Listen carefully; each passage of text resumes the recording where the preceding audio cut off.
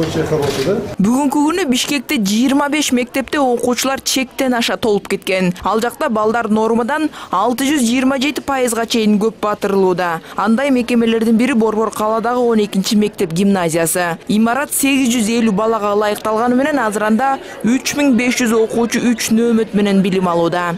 Танапис учурунда сүрмө топ болбош үчүн коридордо жүрүүнүн атайын эрежеси иштелип чыгып бөбөктөр мындай катарда басышат. Бул жактагы абалдан кабар алуу үчүн келген президент сооронбай жээнбеков бир класста элүүгө чейин окуучу отурганына күбө болду. В классе 50 сидят сейчас 49. 50 да Да. классе? Да много тесновато да? Ничего построили новую школу да? Бұл мәселені мен білемін бұл менің көңілім борборында өткенде мен айтқанмын білесіздер жаңағы коррупциядан түскен ақша атайын счет ашылған ошол ақшадан беребиз чүй менен бишкекке беребиз быйыл бишкектеги он экинчи жана алтымыш тогузунчу мектептерге кошумча имарат курулмай болду бул үчүн эки жүз миллион сомдой зарыл экен азыр жери даярдалып долбоорлору чийилген жаңы мектеп боюнча он эки мектепти биз э, карадык анан эми э, каражаттар бөлүнсө э, бул жылы эки экиге карап атабыз төрт беш жылдын ичинде он эки жаңы мектеп курганга аракет кылабыз Ошондо дым ой келгенде иштеп кетет бул. Иштей баштайды да Анда башканда акырындан пульт аркылуу барып теги Ооба. өзү президент мектептерден кийин токсон сегизинчи кесиптик лицейине барып ал жактын иши менен таанышып чыгып ыраазы болду. Бирок мектеп бүтүрүүчүлөрдүн отуз пайызы гана кесиптик билим берүүгө кызыгып жатканын айтып мындай мамилени өзгөртүү керек деди азыр биз бул кесиптик техникалык лицейлердин дагы өзүнүн кадыбатын көтөрүш керек да көтөрүш керек эмне үчүн дегенде азыр технологиялар тез өзгөрүп атат жаңылыктар абдан көп кирип атат биз ошолорго кыска мөөнөттө ушул лицейлерде ошого кирип аткан технологияларды үйрөтүп балдарды ички рынок сырткы рынокко балдарды биз туруштук бергенге биз милдетти алып ошону жасаш керек да. Бул тууралуу сөздү президент кыргыз улуттук университетинин студенттери жана эмгек жамааты менен жолугушууда улантты. Өлкө жетекчисинин айтымында учурда бюджеттин жыйырма пайызы агартуу тармагына багытталганына карабай билим берүүнүн сапаты төмөндөп жатат.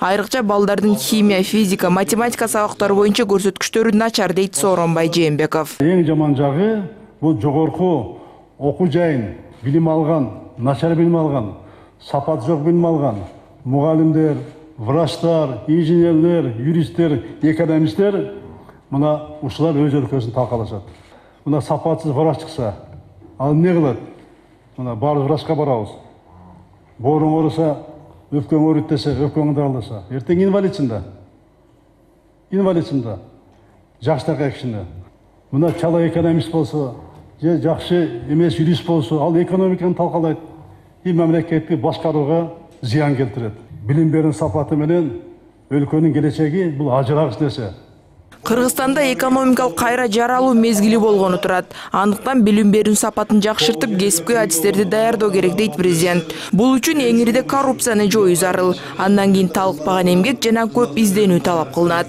өлкө жетекчиси терең анализ жүргүзүп суроо талап болбогон адистиктерге окутууну токтотуп айти технолог сыяктуу зарыл кесип ээлерин даярдоону талап кылды ошондой эле көп тилдүү билим берүүнү өнүктүрүү керектигин айтты. Кыргызстанда мына билесиздер ар кандай сөз болуп атат дагы айтылып кетейин орус тили расмий тил боюнча сактайт ал статусун өзгөртпөйт өзгөртпөйт эмне үчүн дегенде бул биринчи бизге өзүбүзгө керек кыргыздарга өзүбүзгө керек. Эмне үчүн дегенде мына көрүп атасыңар биз евразияске кирдик снкда мүчөбүз мүчөбүз ал жерде баардык мамлекеттин ортосунда сүйлөшө турган сөз мамиле кыла турган сөз бул орус тили бул орус тили бириккен улуттар уюмунун тили да билесиздер да ошол жерде барсаң орусча которуп берет которуп берет мына чыңгыз тилебович айтмай айтканда бул кыргыз тили менен орус тили куштун эки канатындай деп билим берүүнүн сапаты жөнүндө сүйлөп жатып президент кыргыз улуттук университетине токтолду анын айтымында учурунда улуттун сыймыгы болуп саясий илимий элитаны даярдап чыгарган окуу жайдын бүгүнкү абалы адамдын зээнин кейитет университетте көптөн бери эле айрым мугалимдер менен ректордун ортосунда пикир келишпестик токтобой келет ага кошумча студенттер дагы жатаканалардын окуу жайдын ичиндеги шарт өтө начар экенин айтып чыгышкан буга кошумча жакында эле публицист олжобай шакир уулу улуттук университеттин уй сарайдай көрүнүш деген аталышта видео макала жарыялаган. Босогон аттаганда мына көзгө момундай шумдуктар көрүнөт да. Караңыз улуттук университет деген статус бар окуу жайы кыргызстандагы эң көзгө басар туңгуч окуу жайыбыз өткөндө шакир олжобай деген журналист чыгарыптыр аны көрүп алып мен ушунча болдум аны көргөн аны көргөн чыгарган сүрөттөрүн жазган сөздөрүн окугандар вообще бир келип окугандан качат да да здание эски эски сыртынан жалтырай көрүнгөнү менен ичине андай эмес экен корпусту мына акыбалы да начар экен техникалык камсыздасуу боюнча начар экенин көрүштүм азыр кирип муну жазса болот. Эмне үчүн мына мен вуздардын көбүн көрдүм айтпай эле коеюн аттарын. Айтпай эле коеюн мына айрым окуу жайлар жакшы иште жасап жатышат жакшы иште жасап атышат көрүп атасыңар эмне үчүн бирде кылса болбойт тарыхыятын мурдакы аброюн кайра алып келишиңер керек. Алып келип муну чыныгы флагман университетке айландырыш керек.